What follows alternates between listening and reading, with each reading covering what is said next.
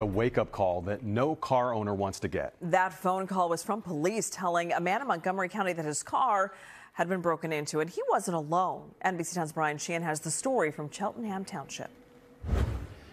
The criminals weren't successful getting the car in this case, but Cheltenham police say at least one vehicle was stolen overnight. They believe both incidents are connected to a social media trend. We got a call last night, and you know the police came to our door knocking, like, "Is do you own this Kia?" So we found out it was broken into. David Coe's 2022 Kia is also now undrivable. Cheltenham police officers patrolling his street in Elkins Park first made the discovery around 1 this morning. We came down, and the first thing I see is the passenger side window all smashed in, and the glass, you know, splattered everywhere. The steering column and ignition were ripped out, sending parts all over the place. Cheltenham police say it's all part of a dangerous trend circulating on TikTok where thieves target certain makes and models of Kias and Hyundais.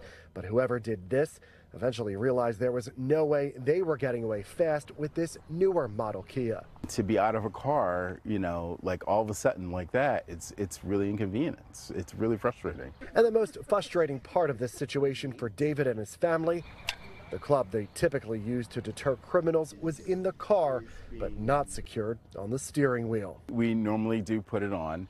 Um, occasionally we do forget, like we're human, but um, but in most cases it's it's on the car, especially at night, because of to prevent things like this. And while this father of 12 is lucky his car can be fixed, he's still taken aback by the whole experience. It's such an invasion, also, which which I, I you know I I came down and it felt like a part of me was invaded because this is, you know, this is our car. This is David recommends securing your car no matter where you live, especially if you have one. Thieves are known to target.